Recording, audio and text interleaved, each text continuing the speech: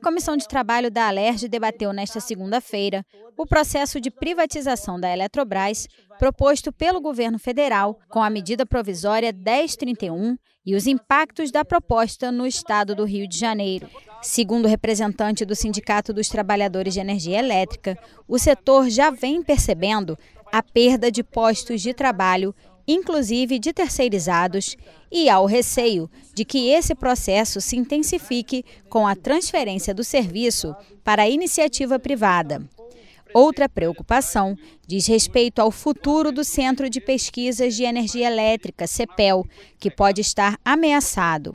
Já o engenheiro eletricista Renato Queiroz, do Instituto Ilumina, disse que o setor elétrico vem sofrendo profundas mudanças nos últimos anos e defendeu que a eletricidade é um produto estratégico para o país. Ele e outros participantes da audiência alertaram que a desestatização da Eletrobras poderia dar margem a um futuro incerto, com prejuízos imprevisíveis para a população. Não é ser contra a privatização por ideologia não, é que a eletricidade perpassa todas as atividades do dia a dia da sociedade. Se faltar luz agora, acabou a nossa audiência pública.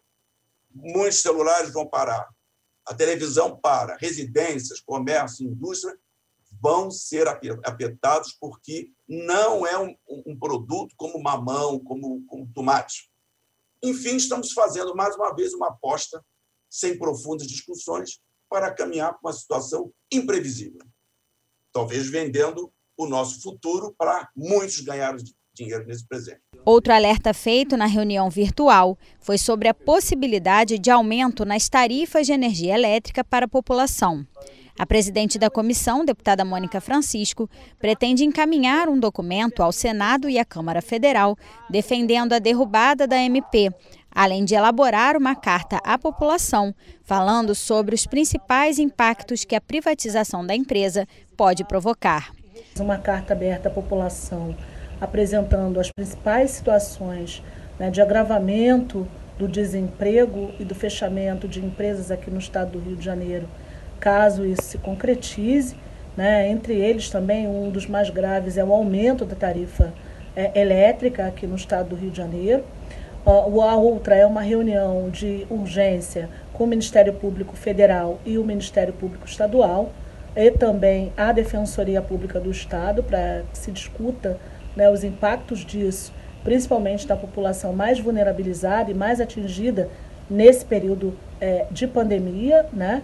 E é, o encaminhamento de uma é, carta ao próprio Senado e ao Congresso em relação ao Estado do Rio de Janeiro não aceitar os termos da medida provisória 1031, que privatiza a Eletrobras, sendo ela a terceira maior empresa brasileira da América Latina.